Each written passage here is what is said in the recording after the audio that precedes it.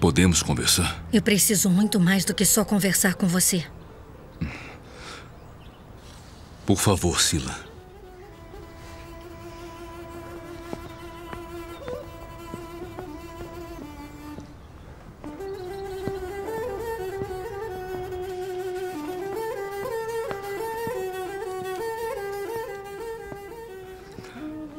Você tem que manter a calma, Sila.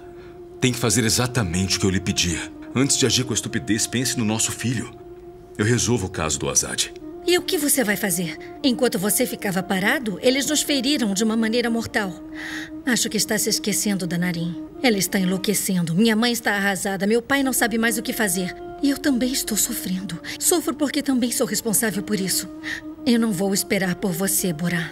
Não dá mais para esperar, porque quanto mais esperarmos, será pior.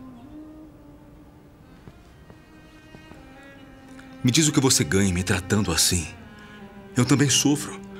Eu estou buscando a verdade. Eu também quero saber o que aconteceu. Mas você só me maltrata. Eu mereço isso. E o que nós fizemos para merecer isso? O Azad, a Narim? O Azad está morto. A Narim está definhando. É assim que você nos protege? Se você me escutasse desde o começo, não ia acabar desse jeito.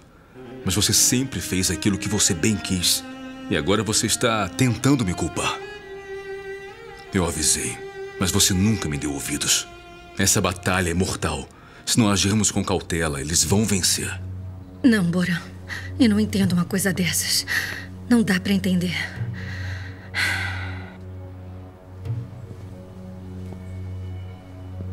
Tudo bem. Vai descansar um pouco, nós conversamos depois. Você já acabou?